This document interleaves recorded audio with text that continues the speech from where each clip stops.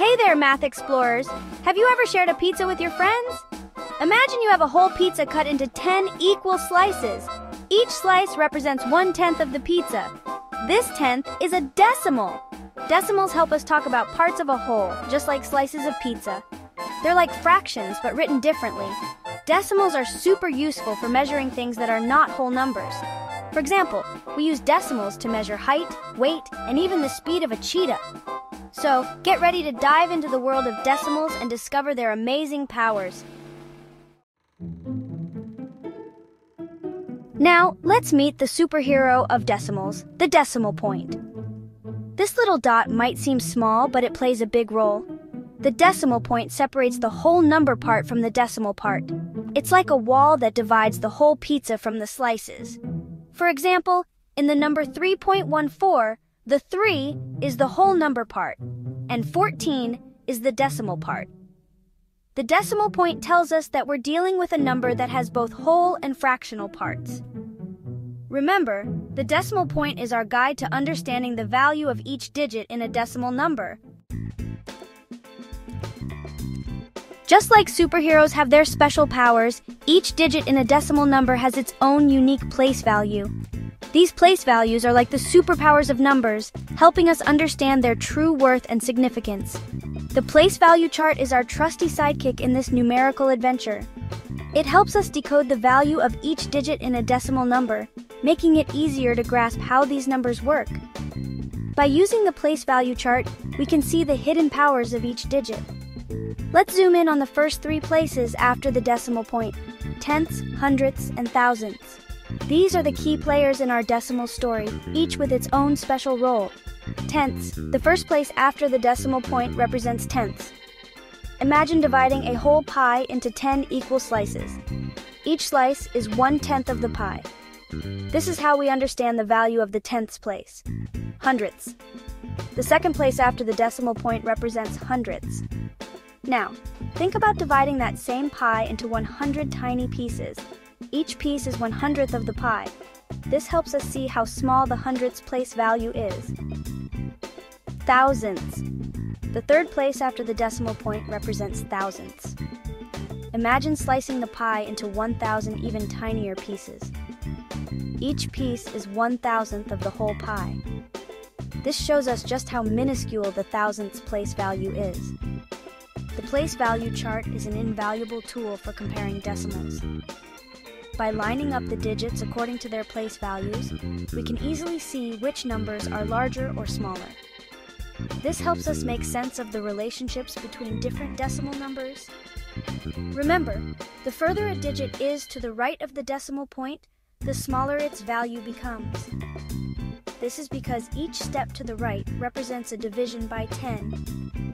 So a digit in the tenths place is 10 times larger than a digit in the hundredths place, and 100 times larger than a digit in the thousandths place. Understanding this concept is crucial for mastering decimals. Reading and writing decimals is as easy as pie. Here's the secret code. Read the whole number part normally. Say point for the decimal point. Read the digits after the decimal point individually. For example, 2.53 is read as 2.53. It's like reading a secret message, digit by digit.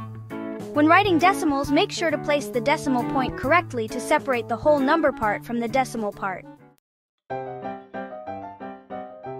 Section 5 Types of decimals Terminating versus non terminating. Decimals come in different flavors. Just like how you can have different types of ice cream, decimals also come in various forms. Some are simple and straightforward, while others are a bit more complex. We have two main types terminating and non terminating decimals. Think of them as two distinct groups, like apples and oranges. Each has its own unique characteristics. Terminating decimals. These decimals have a finite number of digits after the decimal point. They come to a clear and definite end. They end just like a good story. Imagine reading a book that has a satisfying conclusion. That's what a terminating decimal is like. For example, 0.25 and 3.14 are terminating decimals. These numbers stop after a certain number of digits. Non terminating decimals. These decimals go on forever and ever. They never come to an end, much like an endless adventure. They have an infinite number of digits after the decimal point. No matter how far you go, there's always another digit waiting. For example, one third is represented as 0.3333, with the threes repeating forever. This is a classic example of a non terminating decimal. Don't worry too much about non terminating decimals for now. They might seem a bit overwhelming, but with practice, you'll get the hang of them. Just remember that they exist and can be represented using ellipses to show that the digits continue infinitely. This is a handy way to indicate that a decimal doesn't stop. So, next time you see a decimal, try to figure out if it's terminating or non terminating. It's like solving a little puzzle. Understanding the difference between these two types of decimals will help you in many areas of math. It's a fundamental concept that will make other topics easier to grasp.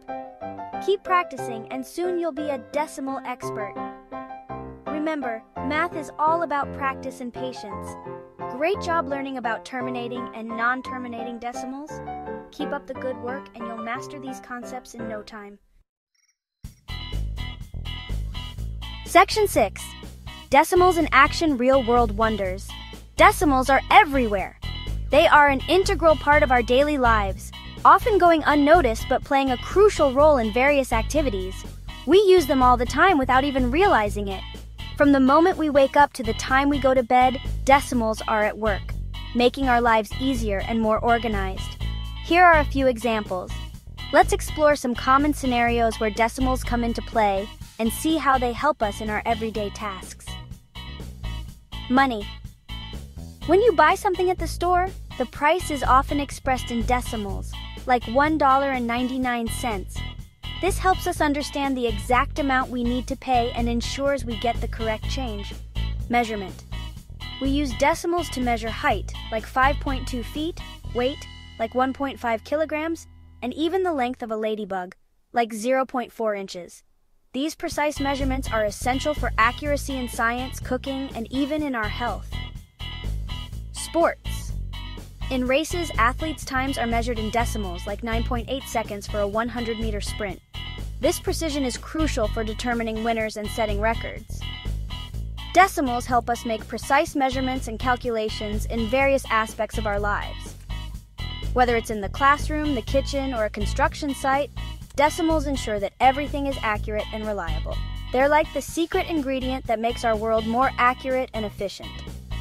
Without decimals, many of the things we take for granted would be much harder to achieve.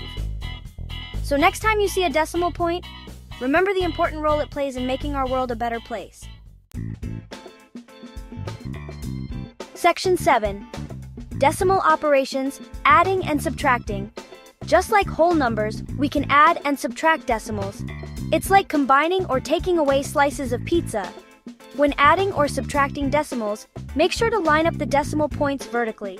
For example, if you have $1.25 and earn $2.75 more, you can add them together. 1.25 plus 2.75 equals 4.00. Adding and subtracting decimals is as simple as that. Remember to keep the decimal points aligned, and you'll be a decimal operation master in no time. Section 8 Fun Fact Time The Decimal Point's Origin Story. Did you know that the decimal point has been around for centuries? The invention of the decimal point is credited to John Napier, a Scottish mathematician in the 16th century. Before that, people used different symbols or methods to represent fractions. Napier's invention revolutionized mathematics and made it easier to work with fractions and decimals. Thanks to him, we can now enjoy the convenience and accuracy of using decimals in our daily lives. Section 9 Decimal Wrap Up Key Takeaways and Continued Exploration. Congratulations, decimal adventurers! You've learned that decimals are parts of a whole, separated by the mighty decimal point. You've explored the place value chart, decoded the secrets of reading and writing decimals, and even discovered the different types of decimals. Remember, Decimals are our friends in the world of numbers. They help us measure, calculate, and understand the world around us with greater precision. So keep practicing, keep exploring, and keep those decimal digits dancing.